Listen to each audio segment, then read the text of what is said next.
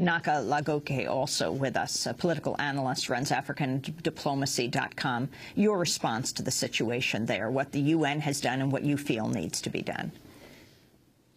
Oh, thank you very much, uh, Amy Goodman, and thank you for having me back on your show.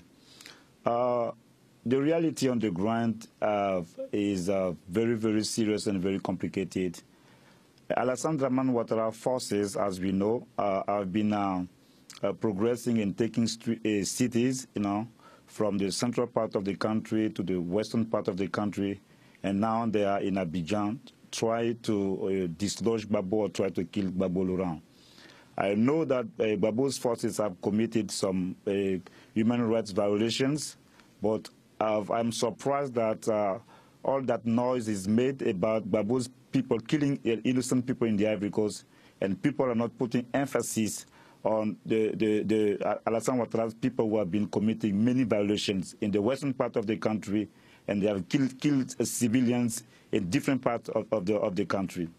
The United Nations is involved in the crisis, and uh, they, uh, they decided to become the kingmaker. And at the same time, the UN and the French forces, that's the reality on the ground, they are, they are uh, backing the uh, Alassane Ouattara's forces and they are giving them a strategic support with their warplanes. And there are even people, are, there are witnesses who are saying that they have seen uh, French soldiers shooting at Gbagbo soldiers. This is also the reality on the ground. Now, uh, you have raised uh, uh in the past uh, questions about how the international community has dealt with the entire process, even the uh, the conclusion uh, as to who won the the recent election. Could you expound on that? Yeah, of course. Uh, when I came here, when I was given the opportunity by Amy, I said that at the time that I did, I did not know who won the election. I still believe that uh, you know it is not clear.